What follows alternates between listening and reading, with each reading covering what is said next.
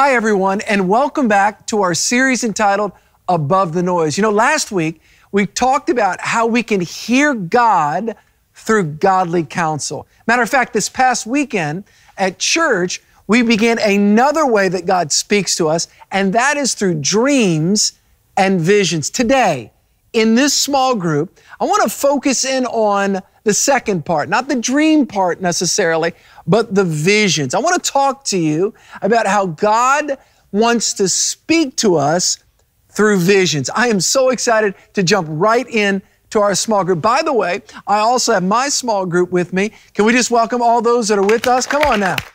Yeah. Let me begin by asking you a question. Have you ever seen a picture in your mind or in your heart and not know quite what to do with? In other words, there's this picture in your mind, this mental picture in your mind or in your heart, and you're not quite sure what it is. Well, listen, I know that I have. What if God was speaking to you? In other words, what if God was using the way that He designed you mentally and God was actually breathing and painting that picture in your mind? What if that was God? How can we know if it's God? How can we know if something in our mind is not just some figment of our imagination or God Almighty speaking right to us, cutting right through the noise, right through all the social media, right through all the distractions, right through all of life's disappointments? What if it's God's voice speaking to you? You know, in our study today, let's start by asking the question what is a vision? I want to just define that up front. What is a vision? A vision, a biblical vision, and that's what I want to talk about. A biblical vision is seeing a God given picture of your future in your mind and in your heart. In other words, God breathes His dream. God breathes His vision. God breathes a picture in our mind and in our heart of a preferable future. It was interesting in, in the New Testament, there was a story. Again, I love the Apostle Peter. You guys love Peter? I love him because he says it.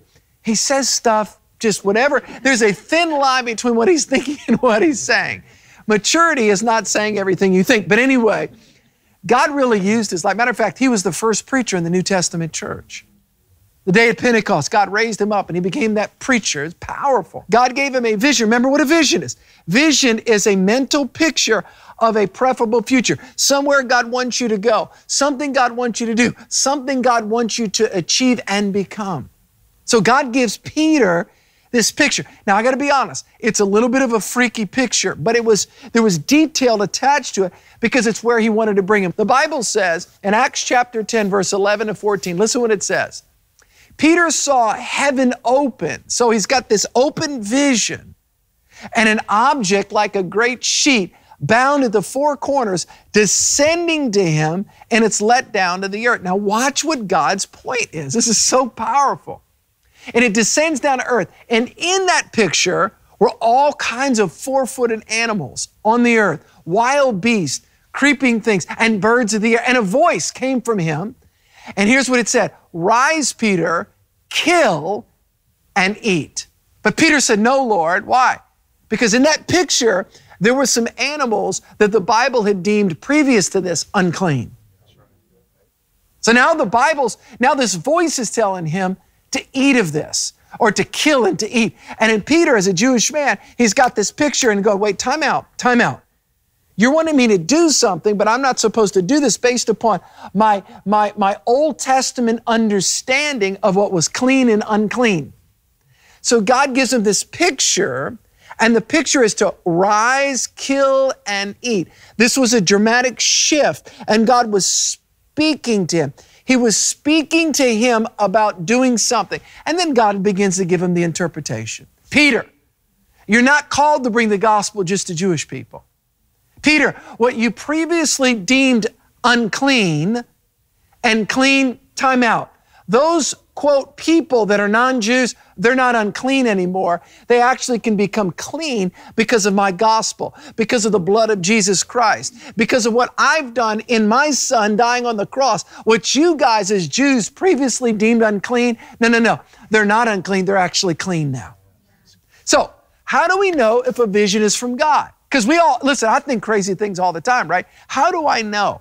Well, we see here that Peter's vision did not begin in his own heart, but it originated from God. See, there are huge differences between a man made vision and a God given vision. Let, let, me give you just a few. A man made vision is, is often based upon our gifts and skills, but a God given vision is, rele- is received as a revelation from God. You hear people all the time talking about, you need a vision, you need a dream. Nothing wrong with that.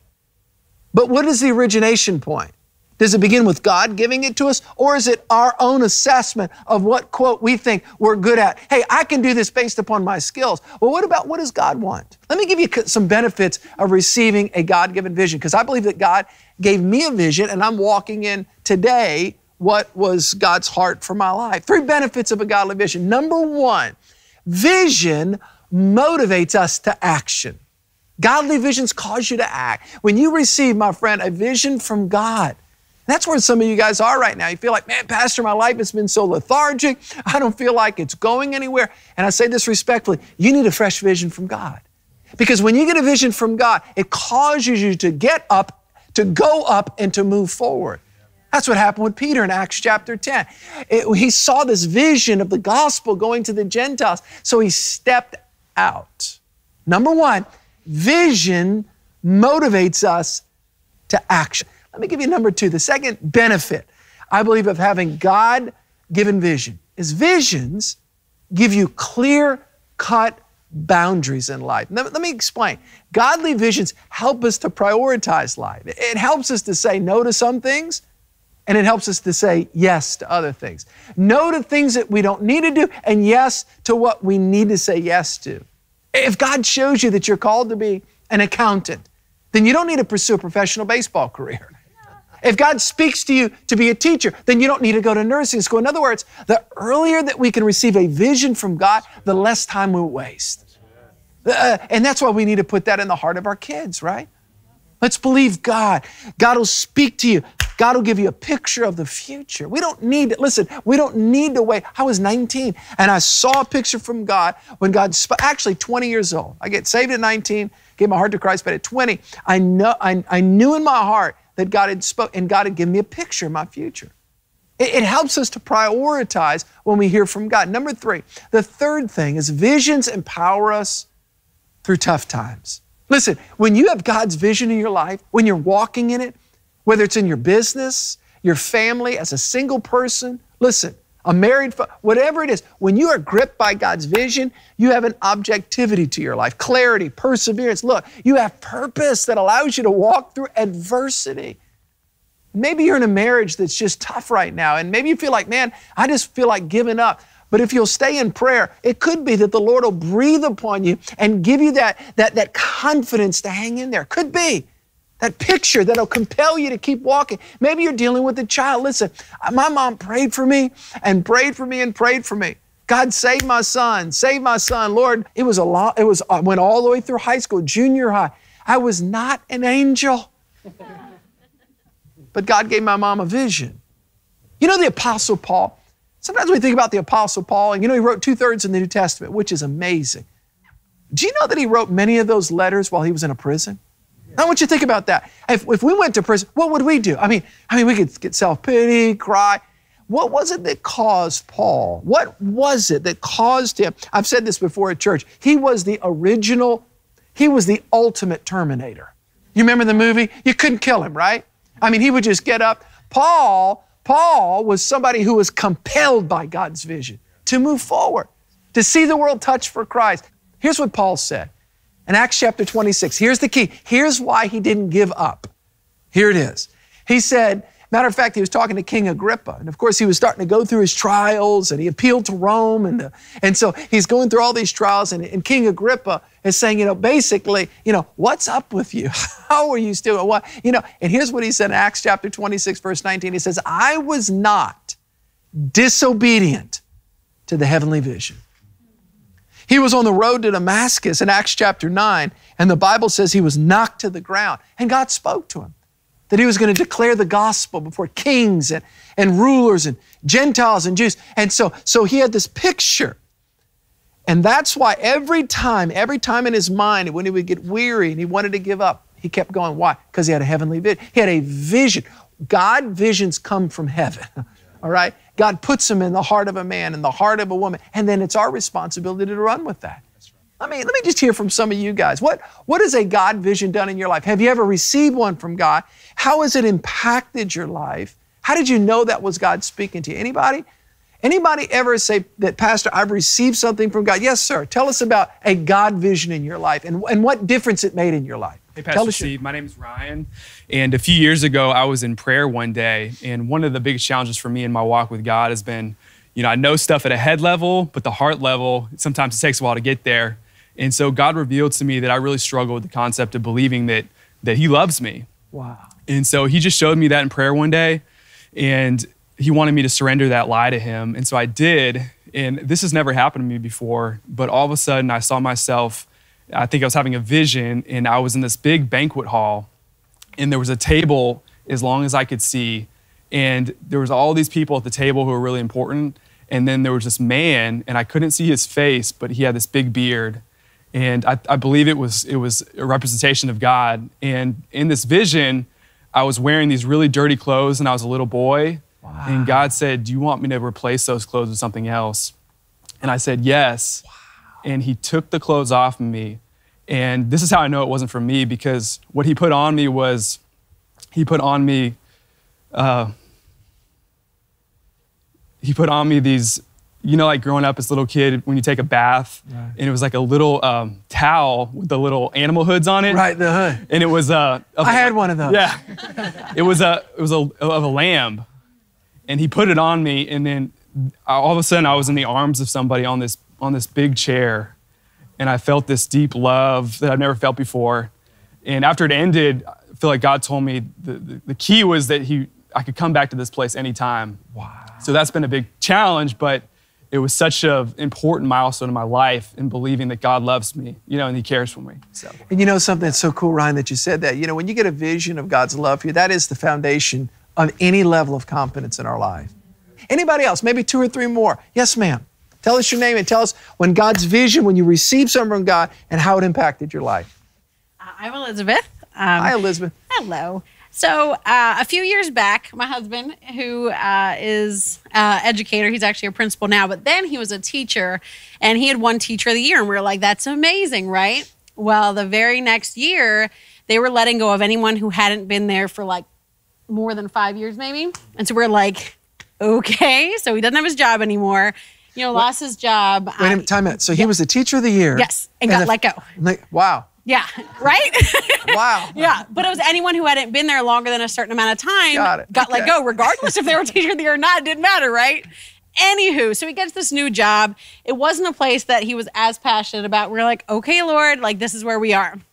Well, you know, a little while later, we're sitting in a church sermon, and afterwards, I turned to him. I was like, Brand, I feel like we're supposed to adopt a child. And he was like, I feel like the same thing. And that sermon had nothing to do with adoption, fostering, nothing. So we're like, okay, cool, we'll, per- we'll pursue that. So we go through the foster classes, whatever. One day we get a call and they're like, hey, we've got this kid that we really would like to know if you would be willing to foster. And we're like, okay. And I was like, well, how, you know, what's his name? They're like, well, we can't tell you that yet, but he's a fifth grader. I was like, oh, my husband's a fifth grade teacher. I was like, you know, where is he in the city? And they're like, well, you know, he's on the west side. I was like, my husband teaches on the west side. I was like, what school is he at? They're like, oh, and they named the name of the school. And I was like, okay. Uh, so then they finally told me his name later. Lo and behold, out of the 20,000 kids in foster care, the kid was in his class that year at the new school that we wow. couldn't figure out why wow. he was there.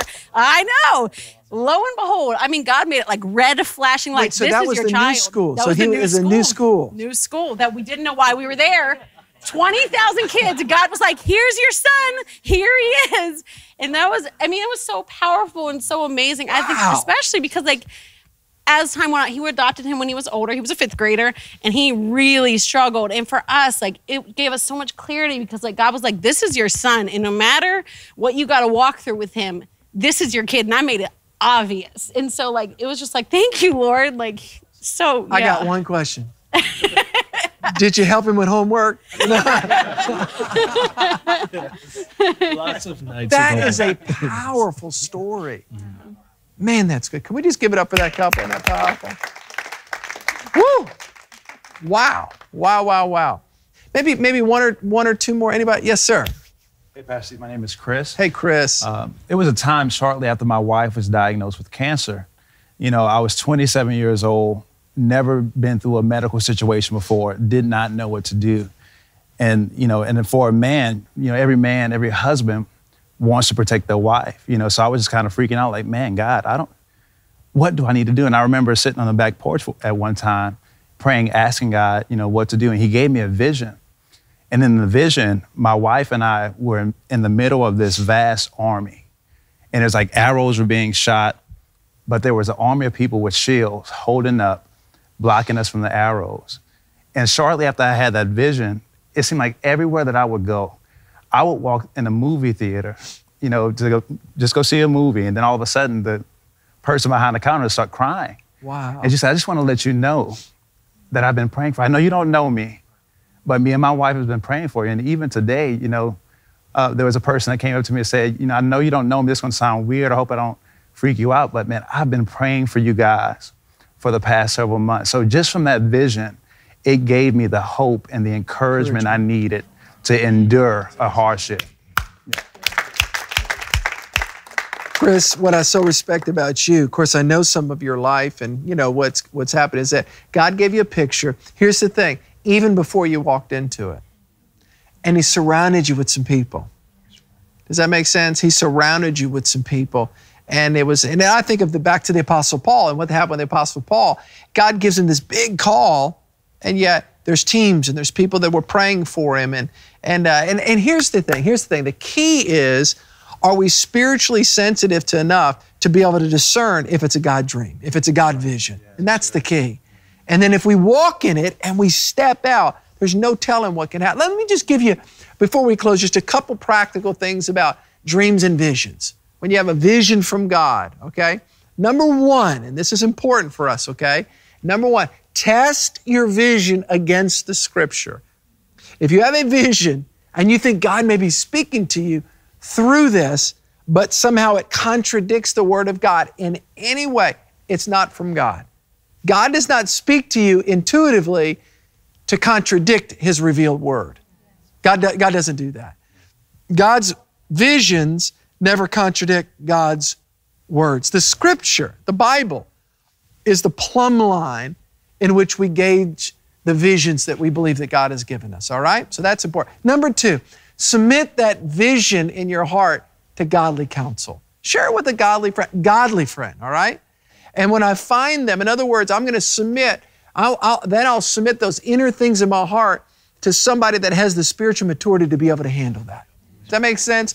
So let's make it practical with our one thing this week before we close. I want you to do something that you may have never done before. Pray, listen, and if you'll open your heart, you may very well receive a vision from God. And God wants to speak to you. And let me tell you, it'll cause you to persevere, it'll cause you to overcome. Write it down. Habakkuk chapter 2 says, write the vision, make it plain. Perhaps you've had a vision and you've never communicated it with anyone. This week, I'm asking you to find a trusted friend. It might be your small group leader, or maybe the person that brought you there, and share it with them and ask them to pray with you about that. So as we conclude today, I want you to remember this. You can never, you listen, you can live above the noise. Whatever God has put in your heart, if it's from God, it'll cause you to live above the noise and to push aside the distractions. You can hear the voice of God. God wants to speak to you. He loves you. He cares about you. And He has a beautiful plan for your life. Take some time to really dig into these ideas in your small group. Discuss them with your group. Pray for one another. I'm going to be praying for you, and I'll see you next week. God bless.